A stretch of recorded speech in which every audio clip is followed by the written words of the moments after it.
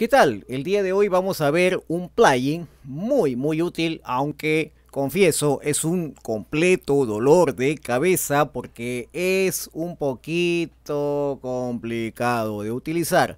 Pero bueno, veamos la utilidad y los beneficios. Este plugin se llama Yoast SEO o Yoast SEO, como quieras llamarle, o por último Yoast SEO, castellanizándolo sin ningún problema.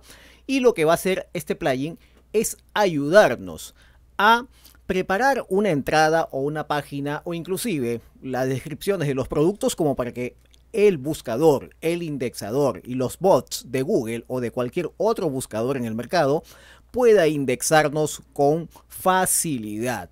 ¿Esto qué significa? Significa que este plugin va a aumentar nuestro posicionamiento, va a aumentar la visibilidad de nuestras entradas, de nuestras páginas y en conjunto de todo el sitio web pasamos a instalarlo como cualquier otro plugin y escribimos aquí Yoast SEO o SEO o SEO como quieras llamarle.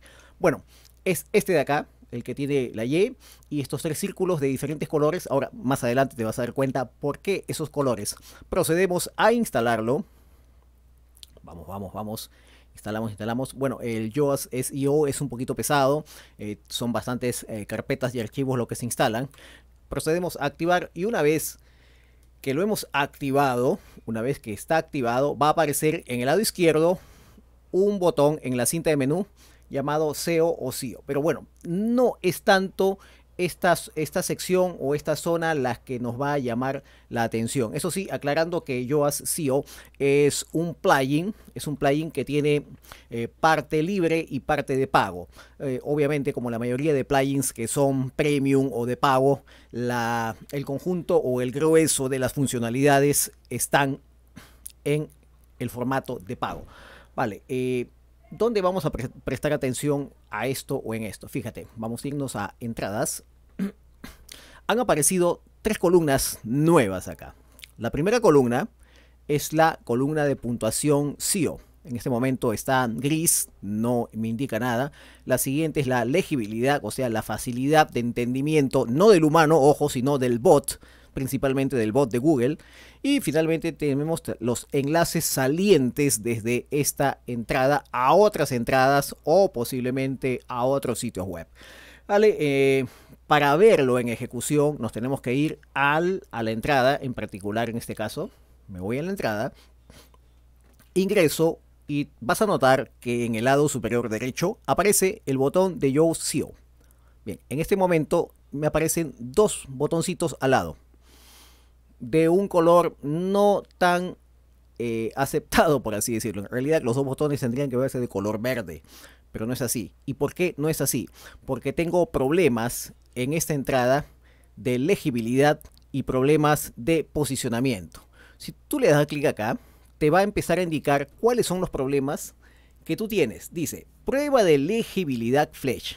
El texto puntúa 45.3 en la prueba, lo que se considera difícil de leer. Ojo, cuando digo difícil de leer, ten en cuenta que no es tanto para un humano. Si tú lo lees tranquilamente, lo vas a entender porque el texto está bastante eh, bien dispuesto para que entiendas lo que estás eh, leyendo, ¿no? Eh, pero aquí recalco lo que se refiere es que la legibilidad para los bots no están muy bien definidas. Dice, Prueba haciendo frases más cortas, utilizando menos palabras difíciles para mejorar la legibilidad. Ok, lo que voy a hacer entonces son algunos saltos de línea para ver si con eso mejoramos un poquito. Eh, comento nuevamente, esto es algo tedioso, es un dolor de cabeza, toma su tiempo, demora. ¿Vale? Aquí... Eh, bueno, eh, da un salto. Ahora aumentó la puntuación a 45.3. Se supone que tiene que superar los, los 50 y tantos. Voy a hacer otro salto de línea por acá. Bien, aquí tengo otro salto de línea. Aquí voy a dar un salto de línea más. ¿Vale? Ya estamos en 46.2. Ah, vamos a ver. Por acá no vamos a poder dar un salto de línea. Aquí tenemos... Eh, ah, vaya, vamos a tener que dar otros más por acá. Veamos, ya estamos en 47. Mm, vamos, a ver si por acá a veces se denomina educación a distancia. A veces es probable que tengas que volver a replantear todo el, texto. Eh, acá, bueno, podemos dar un salto de línea aquí. Mm, la prueba, la actualidad de enseñanza, diferentes escuelas de todo, todo el mundo, las primeras escuelas. En mediado, aquí vamos a darle otro salto. Muy bien. Bien, es todo un, un tema, ¿no? Algunos dirán, pero ahí se necesita el punto seguido, no el punto aparte, ¿no? Pero bueno, hay que hacer todo lo posible para que eh, todo esto quede bien. Eh, prueba haciendo frases más cortas, utilizando menos palabras difíciles. Bueno, yo estoy en 47.8, hemos subido un poco, pero todavía estamos en desventaja. Mm, vamos a ver lo que permite... A ver, vamos a colocar otra línea por acá. Ah, vamos a crear un punto aparte acá y crear otra línea adicional. Es todo un tema, ¿no? Vale, ya estamos en 48.5. Hemos mejorado un poquito más. Eh,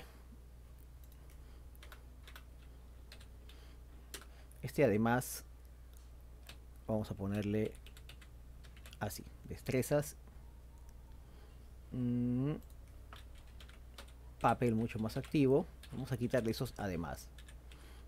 Reducir gastos de materiales. ¿Cómo estamos? Estamos en 49.1. Estamos mejorando bastante.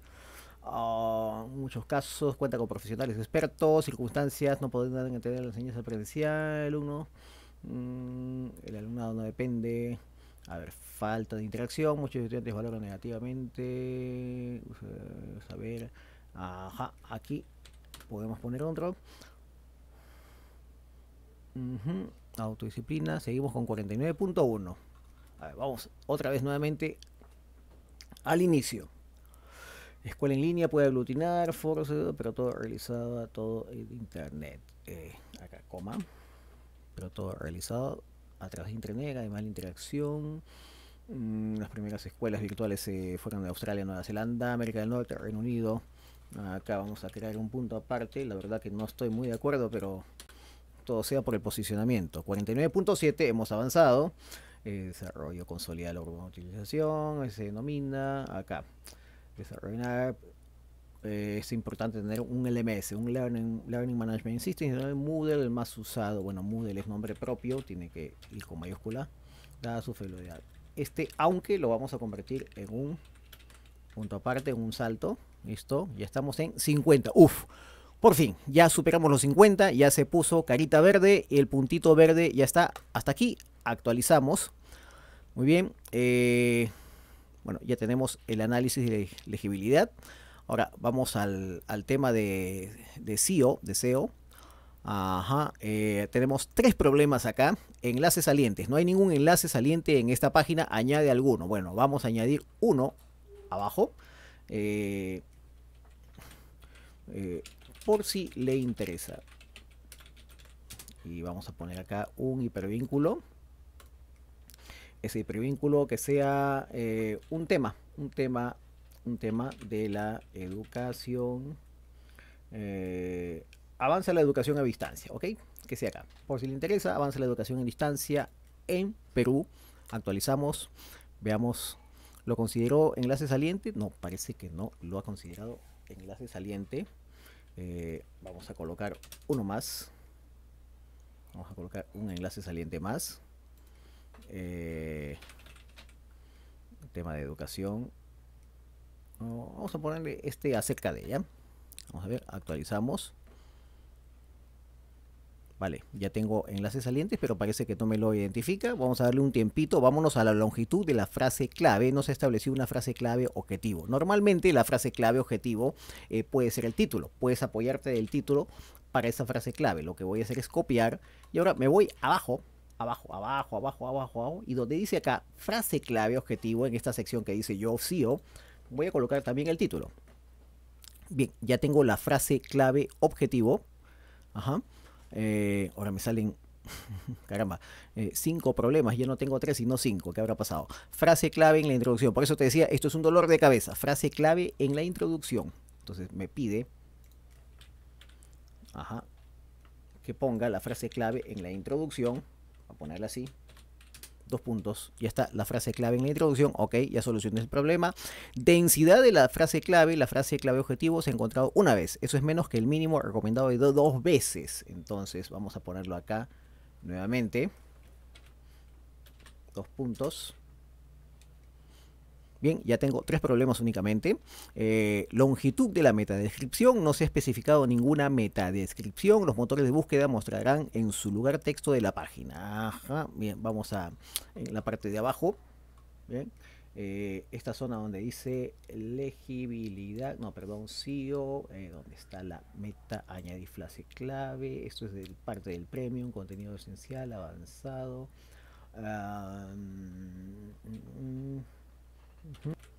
Vaya, se solucionó ese problema, ya, ya lo tengo, de la frase la clave, la frase clave en el título y frase clave en la introducción, ya lo tenemos. Ahora, eh, me aparecen otros problemas, wow, eh, la legibilidad nuevamente está fallando, ya te dije, antes es dolor de cabeza, me sigue doliendo, ya de hecho me está doliendo muchísimo. Enlace saliente, ah, ok, ya sé dónde está mi falla acá, este, aquí eh, lo que he hecho es colocar enlaces internos. Vamos a poner una página que yo manejo. Eh, se llama Provide Perú. Es una página de contenido deportivo y vamos a cambiarle el, hipervínculo, ¿no? No es, no es este. Es, es. Eso sí es un enlace saliente, ¿vale? Eh, ya, se solucionó el problema del enlace saliente. Ahora, longitud de la meta descripción. Eh, no se ha especificado ninguna meta descripción. Está continuando. Usado, aquí está grabado. Vale, longitud de la metadescripción está aquí en este botón, editar snippet, aquí donde dice metadescripción. Eh, coloca nuevamente ahí eh, tu texto, pero eh, Vamos a colocar además un texto adicional. Eh, no es necesario que escribas algo en particular, basta y sobra que copies parte de lo que hay aquí. Lo que siempre en el tapete. Veamos si eso es suficiente. Te pide un mínimo de texto, así que vamos a evaluar si eso es posible. Ok, me parece que sí.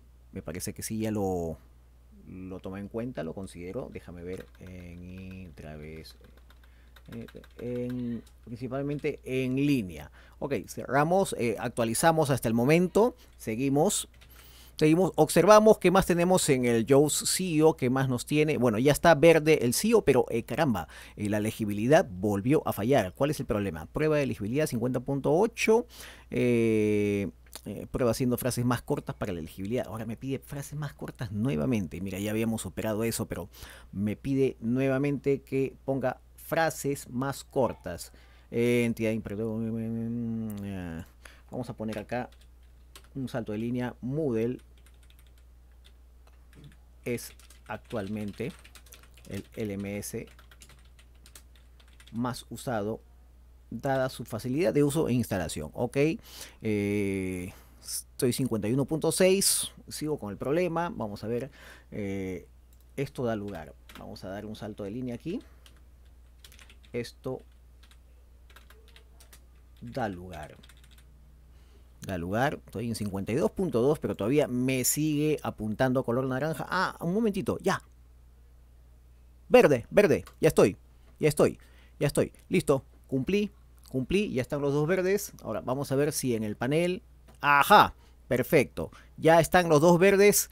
Salimos del problema, es algo muy tedioso, es algo que te va a hacer doler la cabeza, vas a perder el control, vas a querer tirar la toalla, pero paciencia, paciencia porque esto es positivo, te va a ayudar a posicionarte de manera efectiva. Por favor, hazlo, yo sé que te va a tomar mucho tiempo, pero de verdad que sí. El posicionamiento y la facilidad con que tu sitio web y tus páginas y tus entradas son fácilmente halladas funciona y mejora considerablemente con este plugin.